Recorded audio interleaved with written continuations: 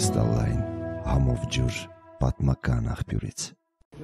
Պարոն Բագրատյան, բարև ձեզ։ Մենք հիմա ոսկե պարում ենք, որտեղ բնակիչները բավականին լարված են։ Պայմանավորված նաև այն վտանգներով, ինչ է սպառնում իրենց։ Դուք ինչ կասեք, մարդիկ անզորությունից լուծումներ են խնդրում։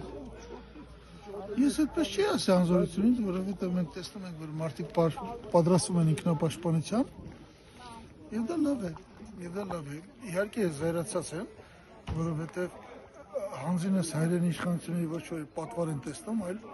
հակառակորդ։ Իսկ ինչ առաջարկներ ունեք, ինչպես եք տեսնում ապագան։ Մենք մենք զիջումների կարիք չունենք, որովհետև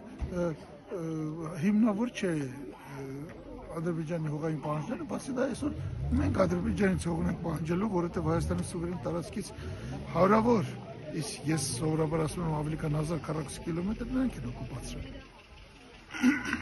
Իսկ ժողովրդի հետ համաձայն եք նրանց տրամադրվածություն ձեզ դու եք։ Այո, ես եմ հասկացա մոտ 90%-ը